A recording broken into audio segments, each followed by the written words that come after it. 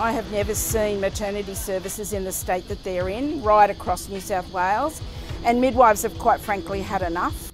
Mums matter, babies count. Mums matter. We do have an incredible shortage of midwives, however, women are not going to stop having babies, and we need to be able to provide the safe service that they not just need, but they deserve. And the biggest issue for as a postnatal midwife is that we're actually delivering substandard care.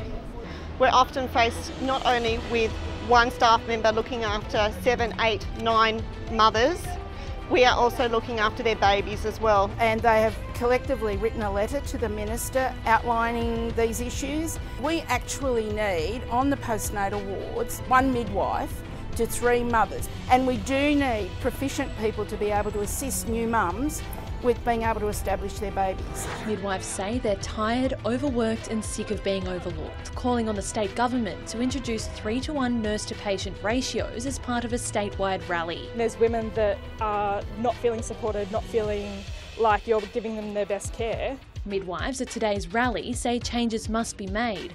The Nurses and Midwives Association rallied outside Wollongong Hospital today, calling for mandated ratios in all maternity services.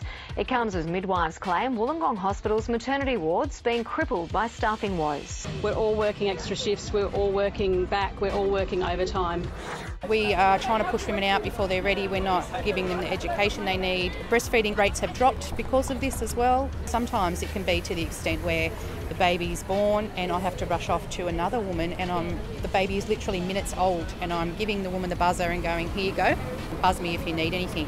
There are times where I go home and I think that I haven't been able to provide for the women that I wish that I had.